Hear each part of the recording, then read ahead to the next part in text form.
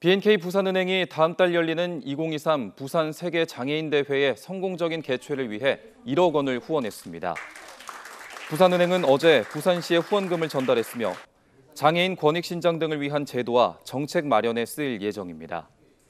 다음 달 7일부터 닷새 동안 열리는 2023 부산 세계 장애인 대회에는 전 세계 80개국 2천여 명이 참가하며 백스코 등지에서 장애 관련 포럼과 문화체육 행사 등으로 치러질 예정입니다.